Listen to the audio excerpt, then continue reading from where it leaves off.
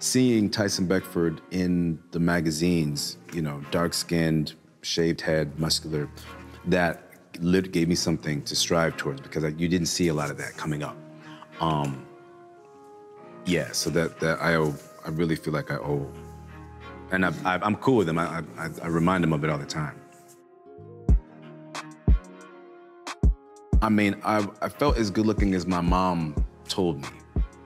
You know, when I was younger, I would go in the mirror and try to get my nose to be skinnier and wonder what it was like to have like, you know, straighter hair.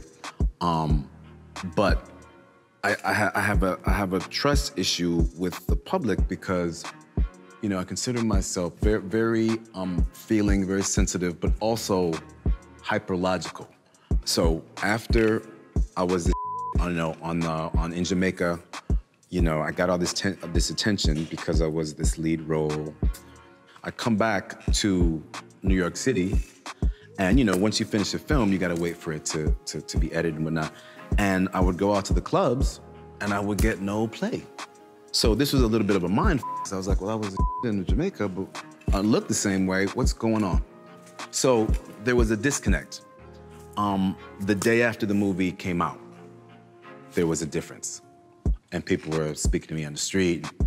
So from that point on, I was like, mm, maybe it's not me, it's this character. So um, I've never really trusted, hey, heartthrob, and he's a blah, blah, blah, blah. Mm, all right, well, you call me what you want, like, you know. Um, yeah, yeah, so that's, it's, it's still an issue.